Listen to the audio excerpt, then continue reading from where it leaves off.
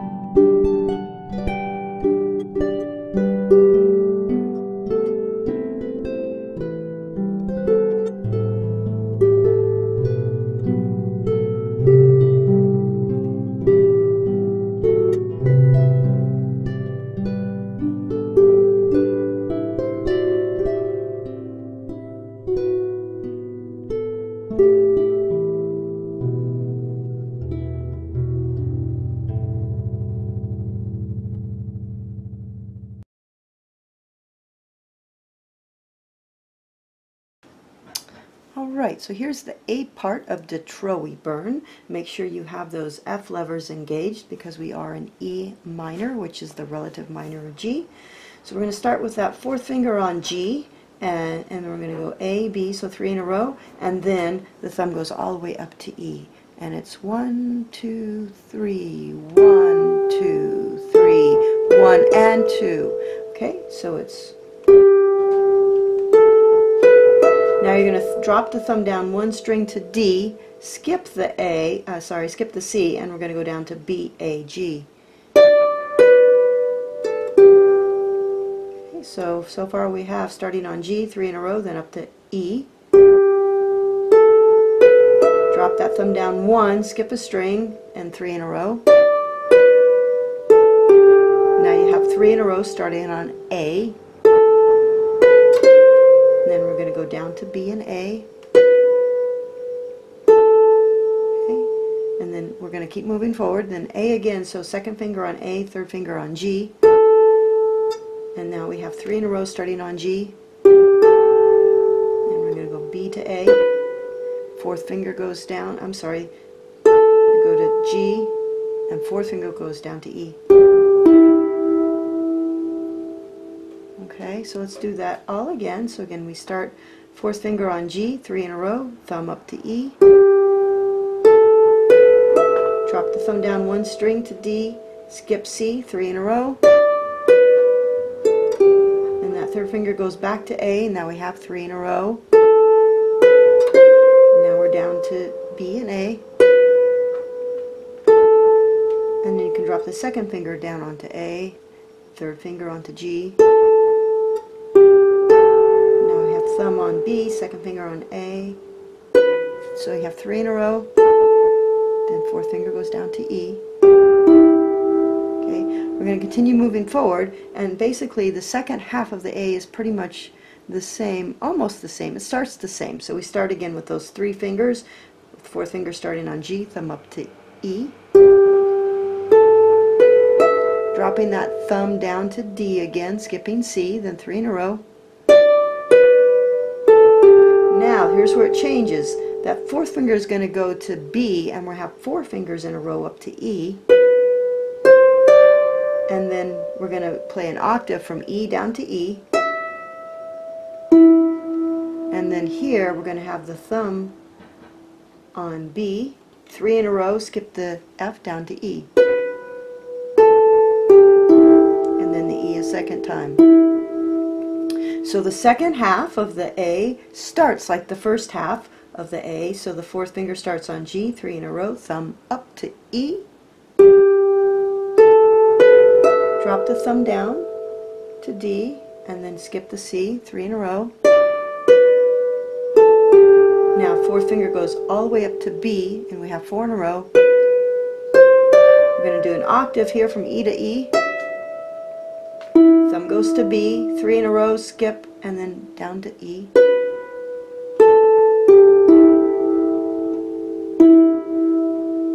Okay, so let's play the entire A together. Again, we're going to start with um, that fourth finger on G, three in a row, up to E. Drop down to D, skip three in a row. Three in a row from A. B and A, A, G, A, three in a row from B, and then down to E. We start it all over again, fourth finger on G, three in a row, drop down to D, three, uh, skip three in a row, now fourth finger to C, and we have four in a row up to E. Octave stretch, E to E, Thumb goes to B. Now we have three in a row, skip down to E.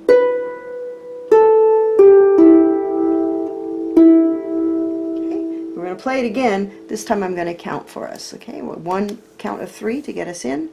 One, two, three. One, two, three. One and two and three. One, two and three. One, two and three. One, two, one, two,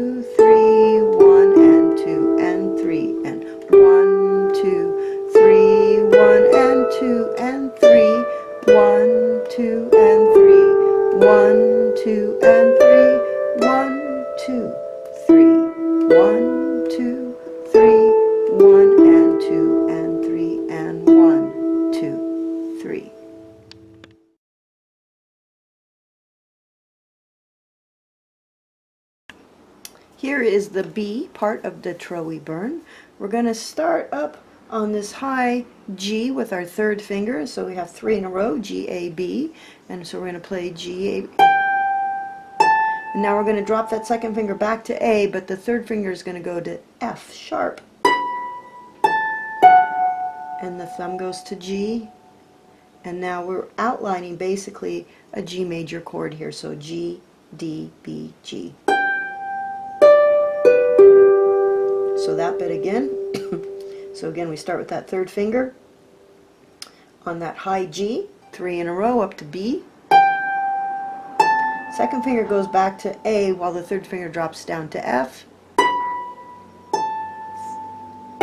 Thumb is on G. Now we have that G chord that we're going to outline here. G, D, B, G. Moving on, we put that third finger on A, three in a row. Second finger goes back to B.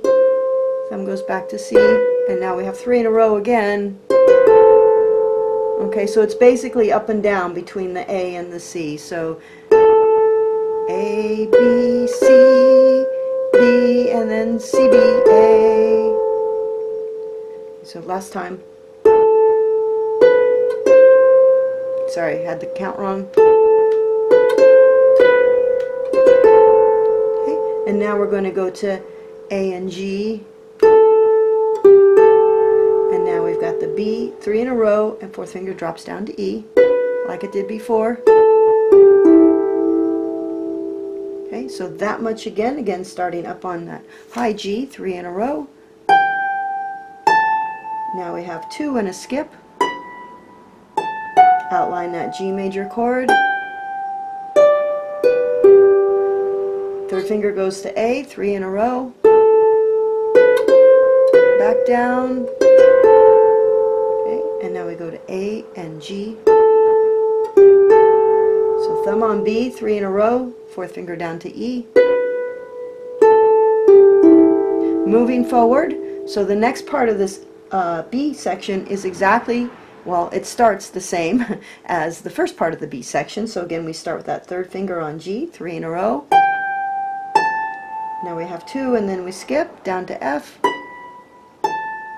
Thumb goes to G, and again we outline that G major chord. Now, here's where it changes, but it's actually the same as the end of the A part. So we're going to start with four fingers, with that fourth finger on B, and now four in a row up to E. That octave stretch down to E. Thumb goes to B, three in a row, fourth finger down to E.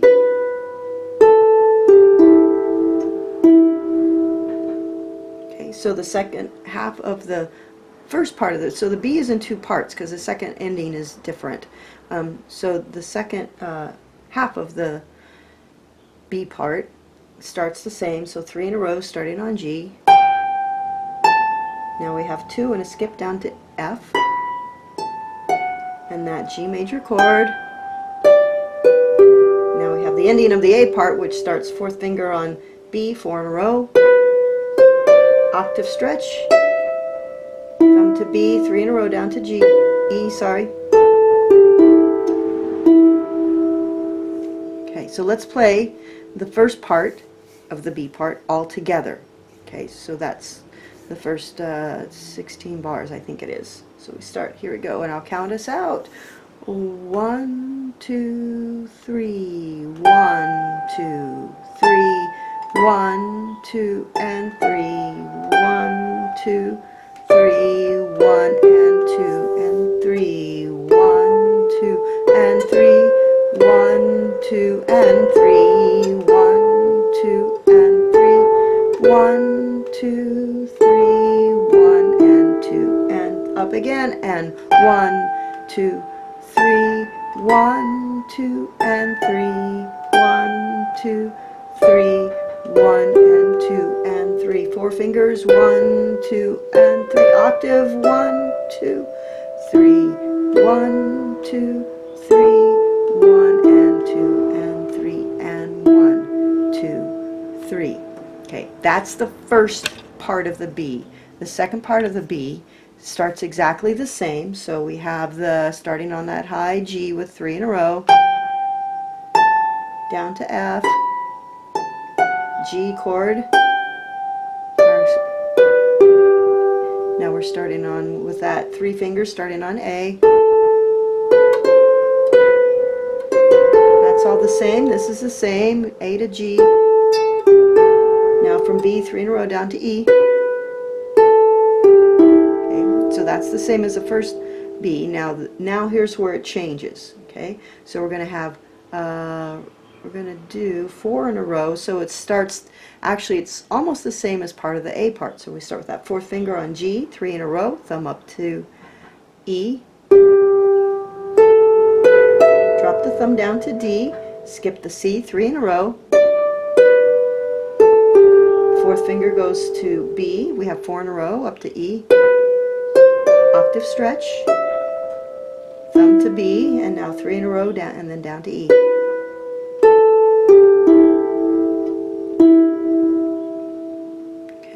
So the second half of the B part, from the beginning of the second half of the B part, again we start with that uh, third finger on G. One, two, three, one, two, and three. One, two, three, one, and two, and three, and one, two, and three, one, two, and three, one, two, and three, one, two, now we go with that four, four fingers, uh, three in a row, starting from G.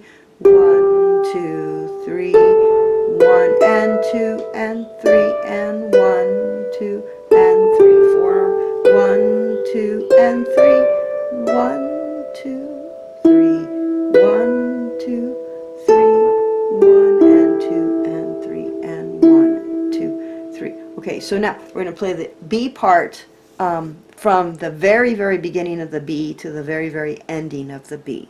Okay, so again, we start those three fingers on that high G, third finger on that high G. Here we go.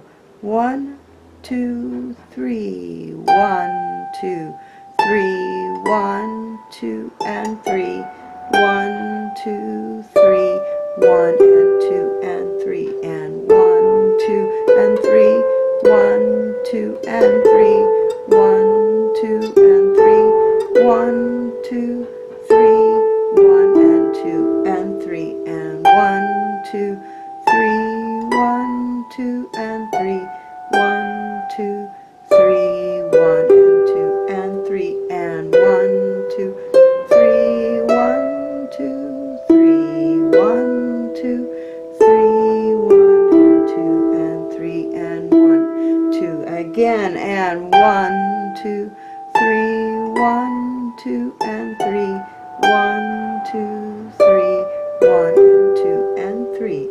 one, two, and three, one, two, and three, one, two, and three, one, two,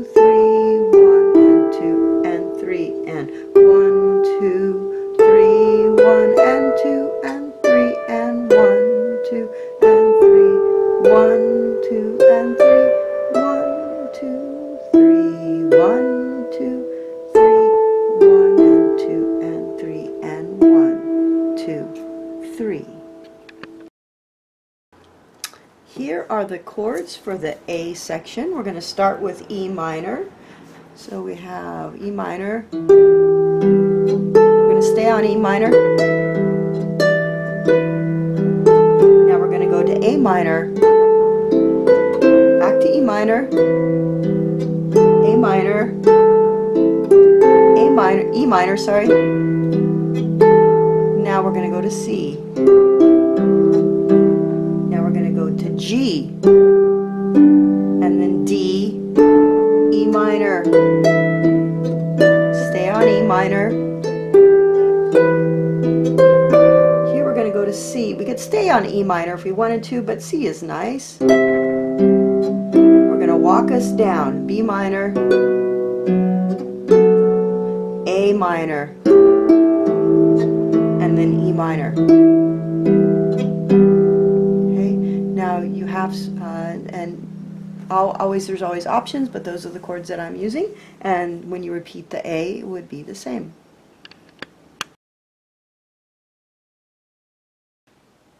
Here are the chords for the B part. Um, now they can change a lot. So if it changes chords in mid uh, within the measure, you can stay on the first chord if you want, if the chord changes are too much. But I'm going to show you all the chord changes that I used. Here we go. Again, we're going to start with E minor, D, and then G. We stay on G, A minor, E minor, A minor, B minor, C. We'll go back to E minor,